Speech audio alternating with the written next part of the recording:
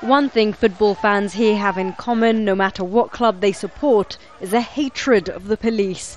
After hearing seven of the nine security officials on trial were acquitted, dozens of Al Ahly fans headed to the police building closest to the club's stadium, setting ablaze and looting a police social club as well as the Football Federation building. Fans here are angry that most of the remaining 52 defendants of the Port Said trial were acquitted. But for some, like this man who lost his son in Port Said, the important thing is that no more blood is spilled. We're not happy with this verdict. The officers should have been sentenced to at least 25 years in prison. But we will have to accept it for the sake of the rest of our children, who are also football fans. I already lost one child. I can't bear the thought of losing more to these clashes.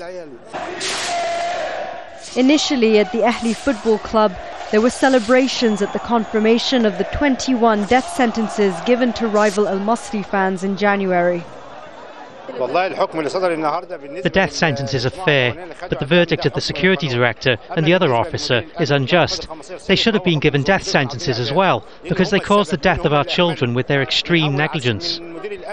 Other defendants, including city and stadium officials, received sentences between one and ten years. The mixed bag of verdicts causing more confusion than closure.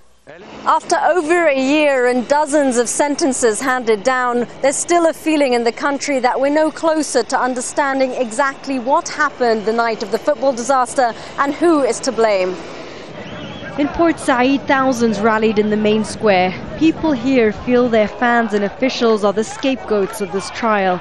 The military has taken over security from the police in an attempt to prevent a repeat of what happened in January when over 40 died protesting the death sentences.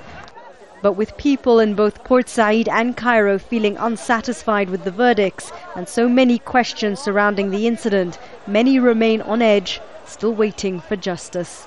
Sherine Tadros, Al Jazeera, Cairo.